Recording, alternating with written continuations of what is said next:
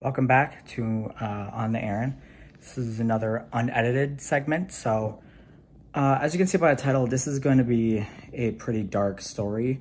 Um, it's where I'm really going to open up and be honest and share my experiences. And so, let's just get right into it. In 2016, I was closeted and very depressed, and I had a secret boyfriend for like a month and that was time where I didn't feel alone and I felt like happy for a little bit, but then it was taken away once our parents found out.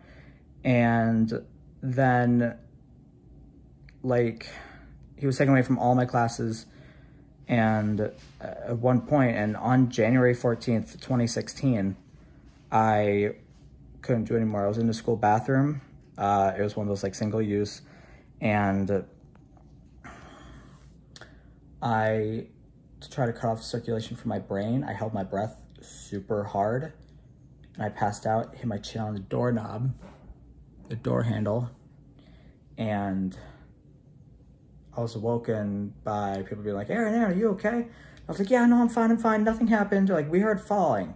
I walk out, they're like, you're bleeding. And um, I they sent me to the doctor to get stitches done and the doctor was like why? Like oh what happened? And i was like oh yeah no i just tripped on something. I slipped. And uh i never really told them the case until like i don't know when i told the real truth. But i was depressed and i couldn't do anymore and i was just ready to just be done. And it's a struggle when you have no one to talk to. I felt so alone. I felt like I was nothing. And depression can really hit. And it hit hard for me. I still have days. Um, but when I was done getting my stitches, nine stitches, by the way, and it was a thousand bucks um,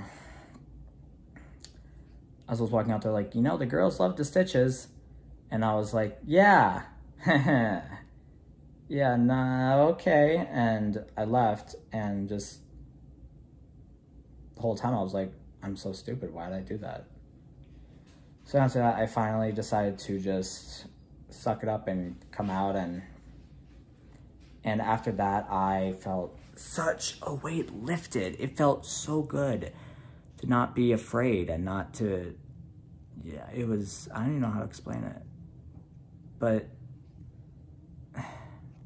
I make this video unedited to show and be honest and real with you so I can help people.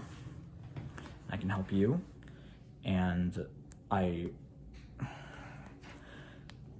I, yeah, that's my suicide story of 2016. I have part two coming next.